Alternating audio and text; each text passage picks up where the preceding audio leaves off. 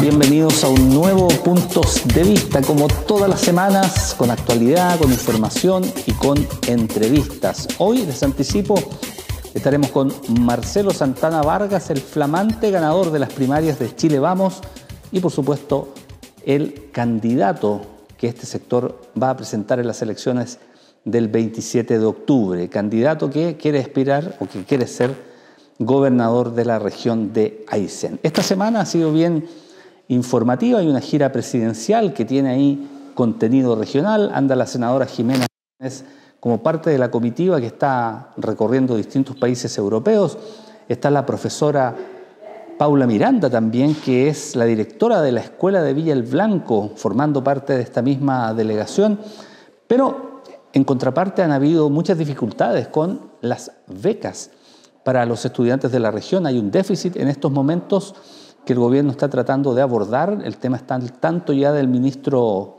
Cataldo y de la directora nacional de JUNAEP para ver de qué manera se subsana esta situación. Así que están pasando cosas. Nosotros hacemos un brevísimo corte para instalarnos aquí ya y recibir a Marcelo Santana con quien iniciaremos esa necesaria conversación.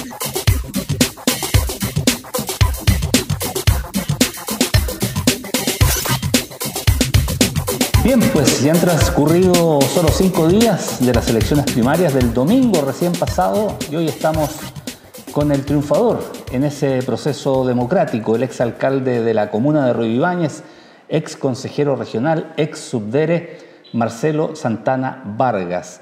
52 y algo por ciento fue finalmente la cifra porcentual una cantidad de votos importante respecto a su más cercano perseguidor, que fue Fernando Guzmán, 1.580 votos fue la diferencia.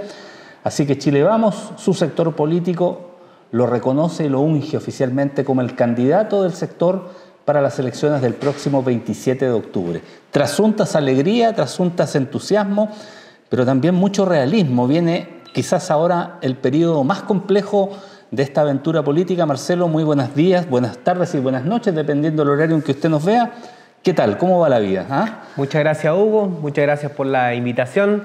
Feliz de estar acá pudiendo ya con el paso de los días reflexionar respecto de ese proceso democrático, de esa primaria, que nos, nos, nos, genera varios sentimientos positivos, entre ellos la unión. He tenido mucha comunicación estos días post elecciones, tanto con Jorge Sepúlveda como con Fernando Guzmán, lo que mm, augura, ¿cierto?, que nos vamos a preparar bien, vamos a planificar bien el trabajo de los próximos meses para enfrentar la elección, las elecciones de octubre, porque se van a elegir cuatro autoridades locales y regionales eh, con, mucho, con mucho tiempo y con, la tranquilidad también de, de, que creemos que nuestra propuesta es una propuesta bastante sólida y robusta y que va a ser muy competitiva a la hora de disputar el gobierno regional.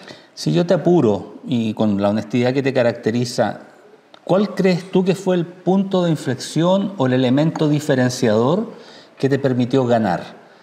Yo lo tengo claro, muchos medios de comunicación también lo tienes claro, porque se te vio mucho en terreno, mucho con la gente, bastante tradicional tu campaña, por decirlo de una manera, poca red social, lo justo y lo necesario, pero fundamentalmente terreno.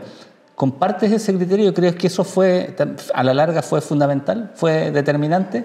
Sí, de todas maneras. Yo siento que las redes sociales son muy importantes, que eh, acercan la figura del candidato, pero no logra traspasar algunas cosas como eh, el, el poder que tiene la conversación, el poder que tiene también eh, la piel, el conocerse. Eh, yo siento que eh, uno, por sobre todas las cosas, es persona y es muy importante que la gente conozca a la persona detrás del candidato.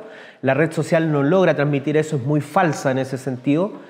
y lo otro también que logramos con mucho tiempo poder desplazarnos a lugares eh, donde eh, es difícil llegar en, una campaña política. Así que eh, a, mí también me ayudó mucho haber sido alcalde. hay un arraigo inherente con el sector rural. Si uno revisa la votación, también el sector rural, no sé, por ejemplo, Ñireguao, Balmaceda, El Blanco, que no son sectores rurales de, mi, comuna, eh, también gané en, todas las mesas, eh, por lo tanto yo creo que también sintonizo de manera fácil con, con esas comunidades. Cuando tú hablas de lo que me siento muy orgulloso por lo demás. Sin duda. Cuando tú hablas de unidad del sector, ¿te refieres a recibir un apoyo efectivo, visible de los otros dos partidos que forman parte de la coalición, trabajar en tu equipo chico o en el mediano o en el, o en el grande, con gente de RN, gente de Bopoli, ¿dónde, dónde va eh, conjugado de la mejor manera desde tu punto de vista el concepto de unidad en Chile Vamos pensando en, ese tremendo desafío del 27 de octubre? Sí, sin duda. Eh, espero que, que podamos tener un equipo que sea bien transversal, no solo de Chile Vamos, sino que personas independientes que también me han llamado para ser parte hoy día ya de las propuestas. Eh, y en ese sentido creo que, que, lo que vamos a hacer nosotros también es generar un proceso eh, que sea convocante. Y para eso son buenas las ideas de la derecha, del centro, de la centroizquierda, porque la región eh, necesita hoy día ya liderazgos que se saquen la camiseta ideológica y se pongan la camiseta de la región de Aysén.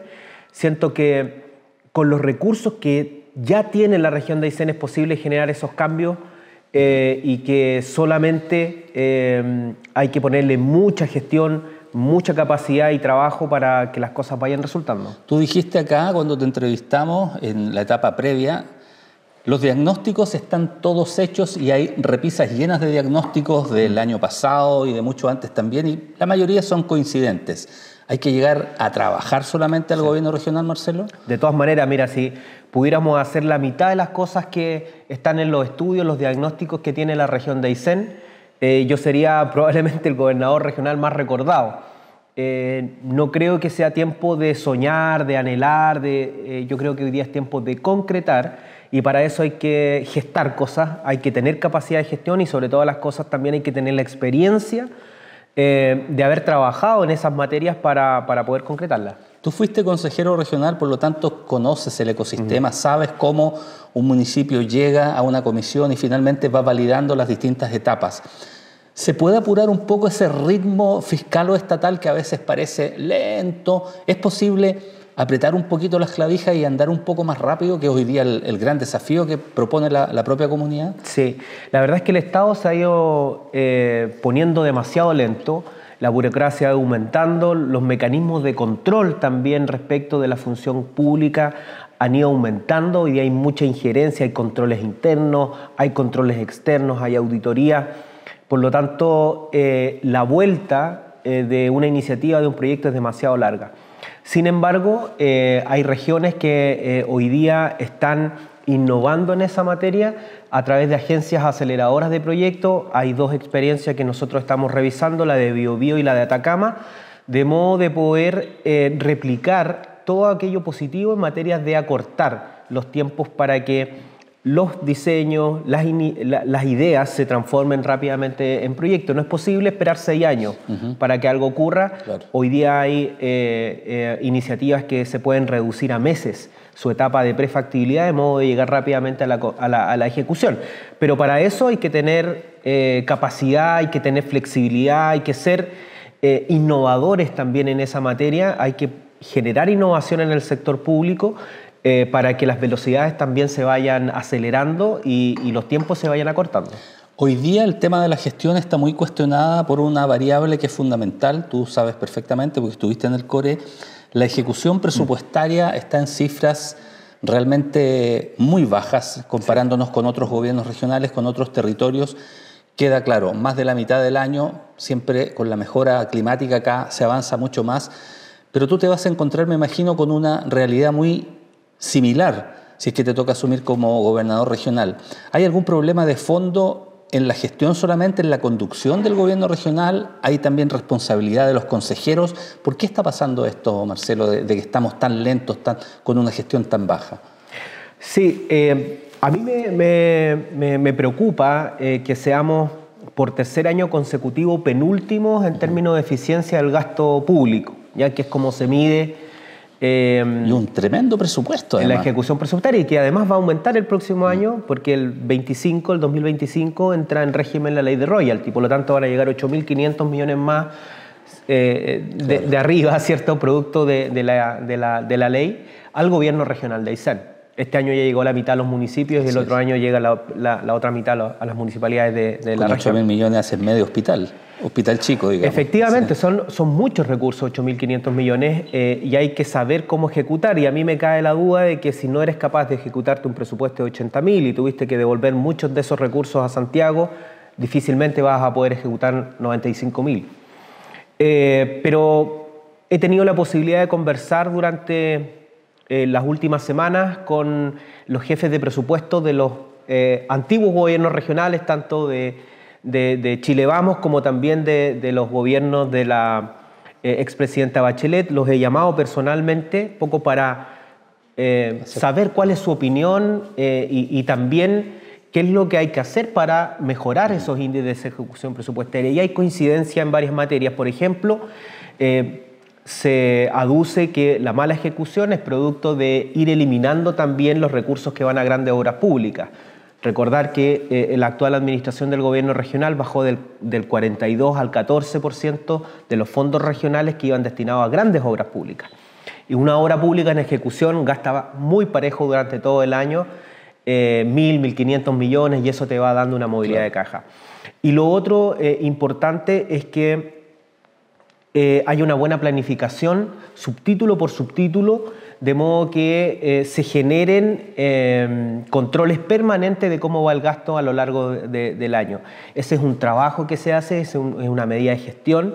El gobernador regional tiene que ser capaz de apurar las unidades técnicas, no, no, no, no quedarse solo con la transferencia de recursos, sino que también ir apurando e ir descartando todo lo que no se vaya ejecutando. Obviamente que Decirlo suena fácil, pero también eh, confío en que vamos a poder llevar equipos que puedan resolver esos, esos problemas.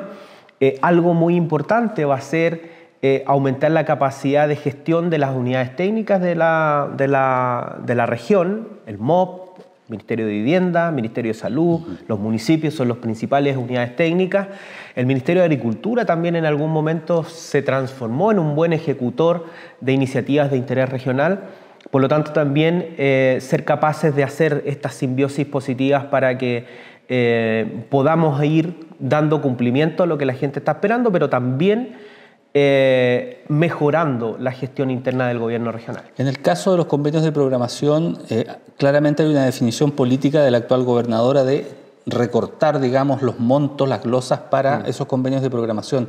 ¿Tú tienes que respetar esa medida o es facultad de quien asuma el día de mañana poder ver o evaluar eso y decir, sabes que yo creo que o pienso que eh, es mejor mantener las glosas históricas de 30 a 40%? ¿Eso dependerá en su momento de su evaluación, Marcelo? Sí, yo creo que a la gente le importa bien poco quién lo haga, eh, quién lo financie en la medida que la cuestión se, resuelva. Eh, y en ese sentido los convenios de programación son una alternativa para resolver las cosas. Yo no, no, no, creo en el discurso de que eh, los ministerios tienen que vérselas por sí, por sí mismos, que el gobierno regional no va a financiar más proyectos sectoriales. Eh, imagínate que sea un proyecto sectorial que resuelva el problema de una comunidad, por ejemplo, un proyecto del Ministerio de Energía que resuelva los problemas que hoy día tiene el litoral en términos de, de, dotar con servicios permanentes de electricidad. O sea, yo feliz le traspaso los recursos si es que el problema se resuelve, independientemente que yo esté resolviendo un problema que, debiera ser ministerial. Eh, y en ese sentido los convenios de programación son una, son una, buena alternativa de poder apalancar recursos también. Eh, nosotros queremos proponer, por ejemplo, en materia de infraestructura deportiva, la construcción de nuevos estadios para la región de Aysén, eh, y a mí me gustaría que eso al menos sea una corresponsabilidad con el Ministerio del Deporte, que está muy ausente en la región respecto de recursos que vayan a proyectos de infraestructura. Eh, por lo tanto, eh, ahí es, más bien facultad de la nueva administración resolver cómo, cómo se van a ir provocando esas iniciativas.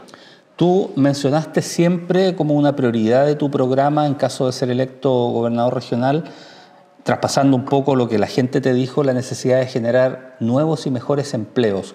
¿Cómo se hace desde la cosa fiscal, desde el gobierno regional, ese ejercicio de crear nuevos empleos? Eh, dinamizando las economías locales, digamos, con obras que se tienen que ejecutar rápidamente, porque de manera directa no se puede, pero ¿dónde está, digamos, la diferenciación que tú quieres hacer. Nosotros vamos a eh, tomar decisiones que permitan rápidamente enfocar recursos a la creación de empleo, ya sea a través de programas de fomento productivo o de generación de obras públicas, que es lo que hoy día ha ido en merma. muy demandante.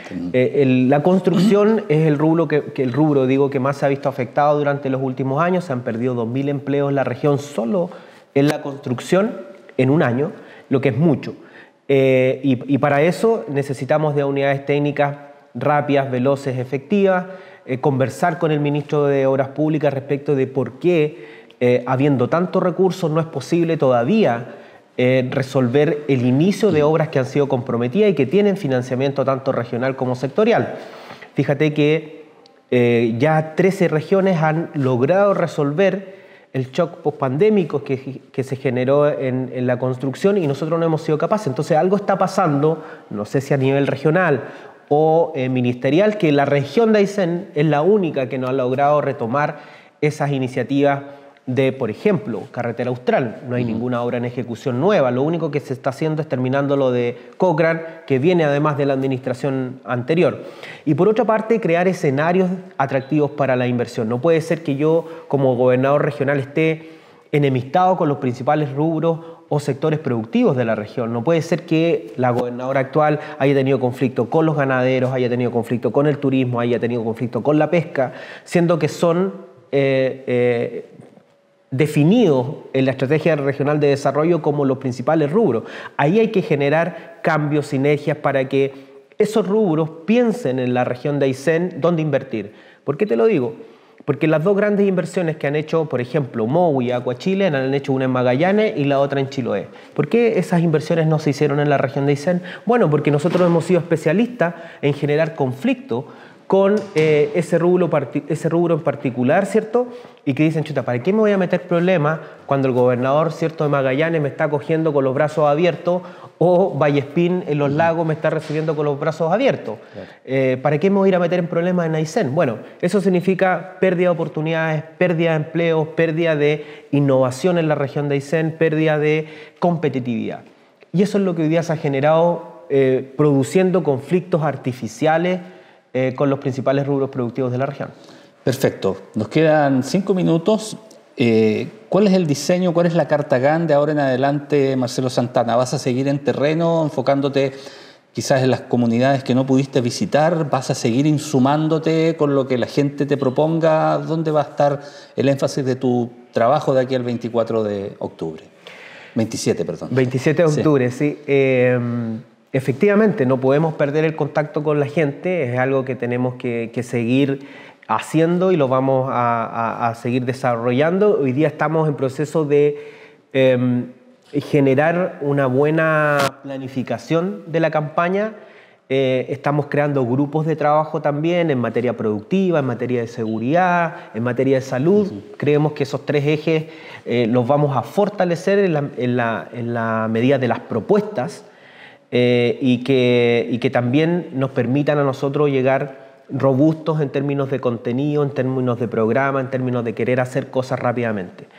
Y por otra parte, el candidato no puede desaparecer de la región y en ese sentido voy a tener que doblegar los esfuerzos, sacar energía de donde no hay para poder seguir desplazándonos por la región. Eso es algo importante que hay que hacer y que, y que lo vamos a seguir haciendo. Además que, eh, siendo sincero, es la parte de la campaña que más me gusta. Así que Mm, feliz de hacerlo. Muchos sueños te traspasó la gente cuando los visitaste en tu recorrido. Hay ahí muchos anhelos que están contenidos y que la gente quiere plasmar en algo diferente. Bueno, fue difícil la primaria porque ir a pedir el voto o ir a pedir el respaldo eh, cuando la gente venía votando mucho, eh, sobre todo en los procesos constitucionales, y no pasó nada, era, era un poco difícil. Entonces, voté, voté, voté y no pasó nada.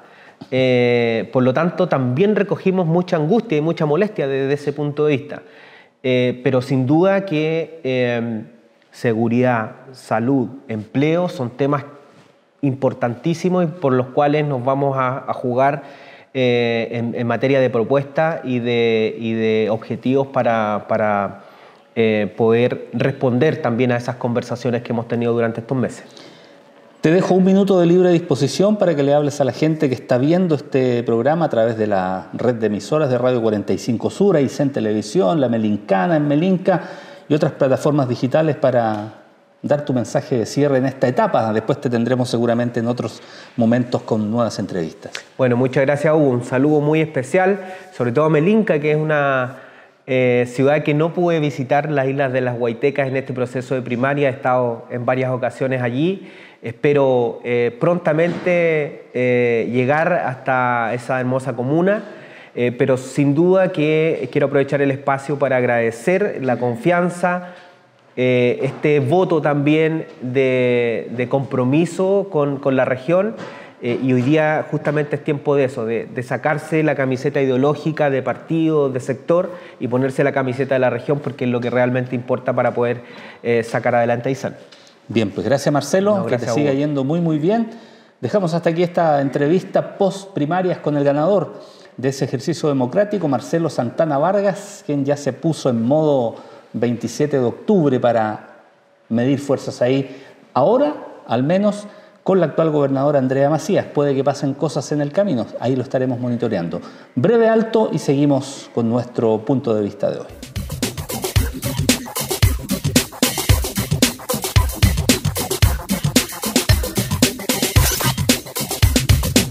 Pues hemos finalizado ya esta conversación, esta entrevista con Marcelo Santana Vargas, el candidato a gobernador regional de Chile Vamos. Varias definiciones quedaron muy claras y por supuesto el trabajo en terreno que seguirá siendo parte de la impronta del representante de la centro derecha. Hay algunas candidaturas que están ahí en etapa de resolución. Está Jorge Abello, actual consejero regional de Aysén consiguiendo las firmas para poder validar también su postulación al mismo cargo, así que en las próximas semanas ya vamos a tener definiciones concretas y el 27 de octubre obviamente en la papeleta los nombres definitivos. En rigor van a estar antes, pero ese día uno va a tener que desplegar esa papeleta y votar solamente por uno y por los demás cargos que también se eligen esa misma jornada. Bien, pues como siempre queremos agradecerles su compañía Recordarles que estamos a través de la red regional de emisoras de Radio 45 Sur, saliendo en toda la cuenca del lago General Carrera,